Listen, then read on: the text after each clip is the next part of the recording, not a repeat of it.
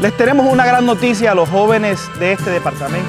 Siguen siendo nuestra prioridad. Hicimos una vaca entre el gobierno nacional, el gobierno de Cincelejo, el rector de la Universidad de Sucre y la gobernación para garantizar la gratuidad de la matrícula para aquellos jóvenes más vulnerables.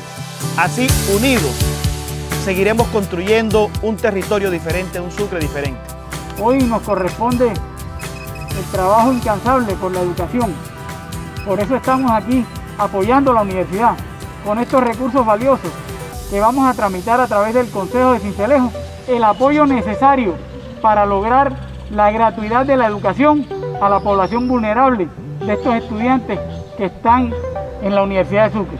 Y con el apoyo de los estudiantes líderes hemos logrado conseguir la bolsa necesaria para financiar nuestros estudiantes en condición de vulnerabilidad. Matrícula para ellos.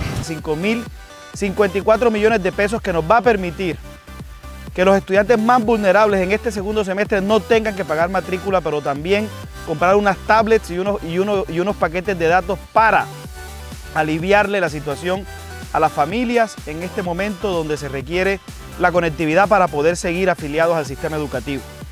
Para terminar quiero decirles que estamos trabajando por construir un departamento diferente, por construir un territorio diferente, todos unidos, unidos por la educación, unidos por el bienestar de nuestros jóvenes.